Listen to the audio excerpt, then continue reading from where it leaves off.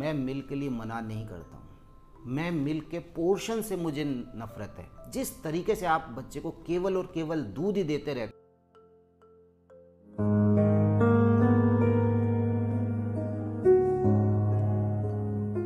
Welcome parents दोस्तों parents की एक बहुत बड़ी चिंता होती है कि क्या हमारे बच्चे का वेट वज़न सही है क्या?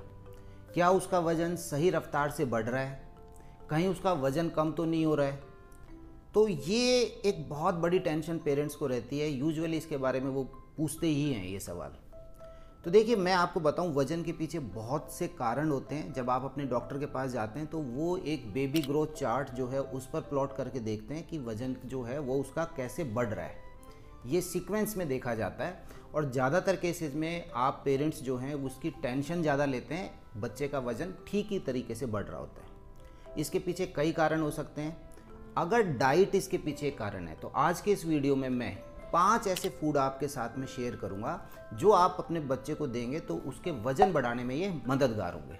मैं फिर से स्पष्ट कर देता हूँ, एक बार अपने डॉक्टर की राय ज़रूर लीजिए ग्रोथ चार्ट का उपयोग ज़रूर कीजिए। ये जो, क्योंकि वज़न के पीछे बहुत से कारण हो सकते हैं, आज जो मैं ये पाँच फ़ूड बता रहा हूँ, अगर डाइटरी कोज है, किसी डाइट की वजह से है तो ये हेल्पफुल होंगे। तो चलिए स्टार्ट करते हैं। देखिए, सबसे इंपॉर्टेंट बात ये रहती है कि जब हम बच्चे को खाना खिला रहे हैं तो वहाँ पर हमारे पास तीन बड़े खाने होते हैं। इनको हम बोलते हैं मैक्रो न्यूट्रिएंट ये मैक्रो न्यूट्रिएंट है आपके पास में कार्बोहाइड्रेट प्रोटीन एंड फैट्स ये तीन बड़ी चीज़ें होती हैं जो हम हम भी खा रहे हैं और बच्चे को भी खिला रहे हैं। अब क्योंकि बच्चे जो हैं, वो छोटे बच्चे हैं, उनका छोटा पेट है तो हमारे को करना क्या है कि जो ऐसा खाना उनकी डाइट के अंदर देना है जो कि कम मात्रा में कैलोरीज ज़्यादा दे। आप मेरी बात समझ गए होंगे, क्योंकि बच्चे कम खाएँगे नेचुरली उनका पेट छोटा है। तो ऐसा खाना जो कि कम मात्रा में ज़्यादा ऊर्जा दे। तो अगर मैं इन तीन मैक्रोन्यूट्रिएंट की बात करूँ कार्बोहाइड्रेट प्रोटीन एंड फैट्स तो कार्बोहाइड्रेट के एक ग्राम में चार कैलोरीज प्रोटीन के एक ग्राम में चार कैलोरीज लेकिन फैट्स के एक ग्राम के अंदर नाइन कैलोरीज अब आप अंतर देख सकते हैं। कि ज़्यादा कैलोरीज किसमें आ रही है? सेम मात्रा में फैट्स के अंदर कैलोरीज ज़्यादा आ रही है। तो ऐसा हमारे को करना चाहिए कि बच्चे का जो फ़ूड है, उसमें थोड़ा सा अच्छे फैट्स याद रखिएगा, अच्छे फैट्स जो हैं, उसका उपयोग करें। तो मेरे इन पाँच फ़ूड की लिस्ट के अंदर सबसे ऊपर आते हैं। नंबर वन ऑयल कौन सा ऑयल है? ये मेरे पास ऑलिव ऑयल है। अब इसको देना कैसे है? अगेन इसके अंदर जो है एक ग्राम के अंदर four calories sorry nine calories है। अब हमारे को इसको देना कैसे है? आप जो भी बच्चे की सर्विंग कर रहे हैं, बच्चे का जो आपने उसका कोई प्यूरीज बनाई हैं, उसका सेरेलेक है, उसके अंदर इसकी एक चम्मच डाल दीजिए। याद रखिए, मैं बात कर रहा हूँ छः महीने से ऊपर के बच्चे की। छः महीने से नीचे के बच्चे के लिए मैं बात नहीं कर रहा हूँ। तो आप उसके अंदर, आपने जो भी उसकी प्यूरी बनाई है, जो उसके लिए डिलीशियस आपने उसका एक न्यूट्रिशियस फ़ूड दिया है, उसमें एक चम्मच लें और इसके ऊपर छिड़क दीजिए। गर्म करने से इनके नुकसान बढ़ जाते हैं। तो ऐसे में ये है ऑलिव ऑयल लेकिन मेरा जो फेवरेट है, वो रहता है फ्लैक्स ऑयल मैं आपसे बहुत बात करता हूँ। मेरे मल्टीपल वीडियोज़ के अंदर मैंने आपके साथ फ्लैक्स ऑयल के बारे में शेयर किया फ्लैक्स ऑयल के अंदर भी ऐसा ही है। एक ग्राम के अंदर नाइन कैलोरीज हैं, लेकिन फ्लैक्स ऑयल के अंदर एक विशेषता क्या है कि फ्लैक्स ऑयल जो है वो ओमेगा थ्री फैट से भरा हुआ है। तो बच्चे के वेट गेन में तो फ़ायदेमंद है ही है। इसके अलावा दो जगह पे और फ़ायदा देगा बच्चे को। एक उसके ब्रेन के विकास के अंदर और दूसरा क्योंकि फ्लैक्स ऑयल के अंदर फाइबर्स भी बहुत अच्छे हैं। तो वो उसकी आंतों के लिए भी बहुत अच्छा रहेगा। तो आप याद रखिए ऑयल दे रहे हैं ऑलिव ऑयल के लिए मैंने आपके साथ शेयर किया, कैसे देना है, इसको छिड़कना है, ऐसे फ्लैक्स ऑयल को भी। उसे भी आप अपने फ्रिज में रखिए, जब बच्चे की सर्विंग कर रहे हैं तो एक चम्मच है, वो उसकी उसकी जो भी प्यूरी है या उसका सेरेलेक उस पर उसको डाल दीजिए। गरम नहीं करना है, याद रखिए। चलिए, ये हुआ फ़ूड नंबर वन अब हम लेते हैं फ़ूड नंबर टू ये जो है, ये हमारे पास आता है नट बटर्स मेरे पास जो है, ये है पीनट बटर इसके अलावा आप बादाम का जो है आलमंड बटर भी ले सकते हैं, काजू का जो बटर है, वो भी ले सकते हैं. पीनट बटर जो है, बहुत बहुत न्यूट्रिशियस होते हैं.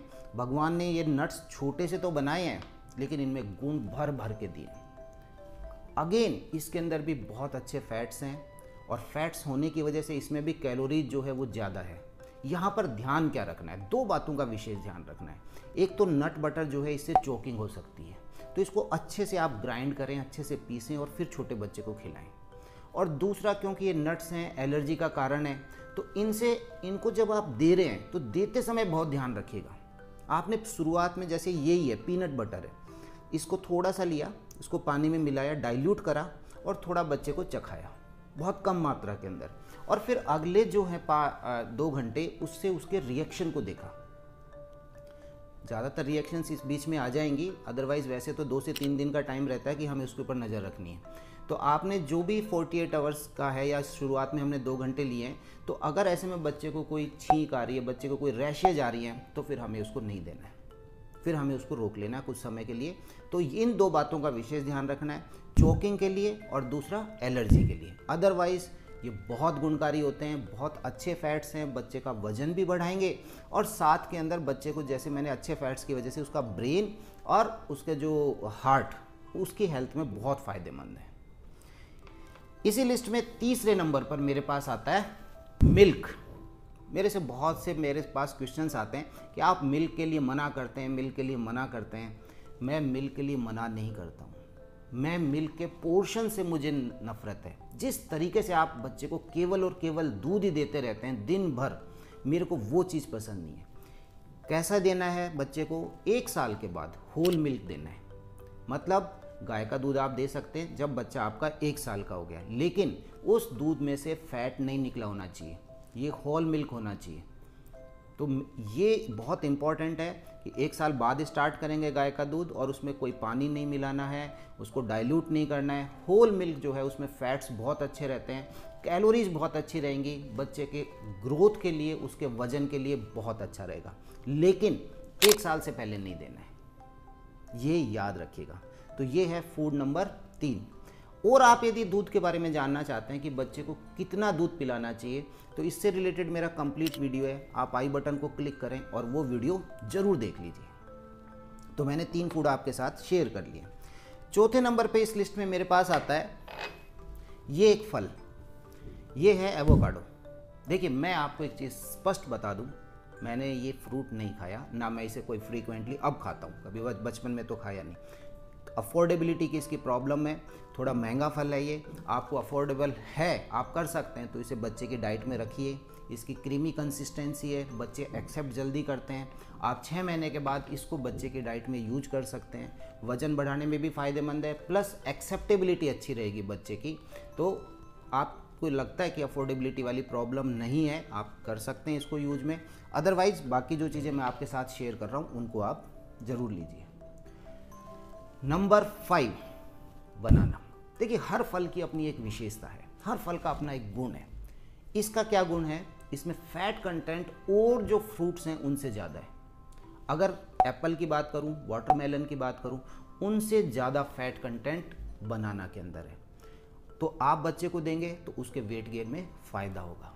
फैट कंटेंट अच्छा। दूसरा, आपको इसको प्रिपेयर करने में बहुत समय नहीं लगेगा। इसको आपने छीला है, इसको मैश किया और बच्चे को खिलाना चालू कर दिया है। तो first food as a first food छः महीने पर जब हम कॉम्प्लीमेंट्री फीडिंग स्टार्ट कर रहे हैं बच्चे की, ये एक बहुत बहुत अच्छा फ़र्स्ट फ़ूड है ये। तो आप देते हैं कि नहीं देते हैं, मुझे कमेंट्स में ज़रूर बताइएगा। अच्छा ये ज़रूर बताइएगा कि आपने फ़र्स्ट फ़ूड क्या दिया बच्चे को? जिन्होंने भी अभी स्टार्ट करने जा रहे हैं, किससे कर रहे हैं, या जिन्होंने दिया है, मुझे ज़रूर बताइएगा कि फ़र्स्ट फ़ूड आपने क्या दिया उसे। तो ये इसमें फ़ैट कंटेंट अच्छा है प्लस इसमें फाइबर्स भी बहुत अच्छे हैं। तो इसके अपने बहुत मल्टीपल बेनिफिट्स हैं। मेरा इस पर भी एक कंप्लीट वीडियो आप देख सकते हैं। आई बटन को क्लिक करके। तो ये पाँच फ़ूड आइटम थे, लेकिन अब मैं एक और एक्स्ट्रा आपको बता रहा हूँ, जो मेरा फेवरेट है। मुझे बहुत ज़्यादा पसंद है, और ये है आपके पास में दही।